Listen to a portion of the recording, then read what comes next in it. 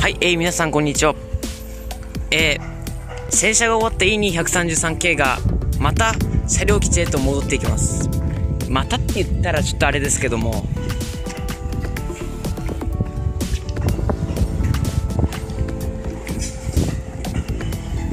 いや高崎支社は車両の入れ替えっていうのが結構頻繁に行われるんですね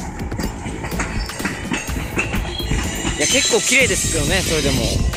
こんなに綺麗になるもんですね。洗車してると。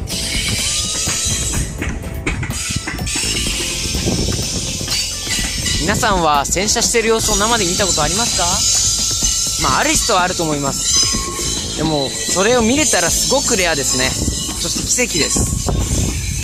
本当に洗車してる姿っていうのはあんま見れないですから。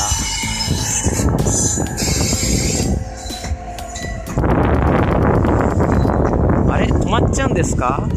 すげえ不安定で中途半端なところで止まってますけども。すぐ動くでしょ？お、動きました。動くと言ったらやっぱ動いちゃうもんなんですよね、おそらく。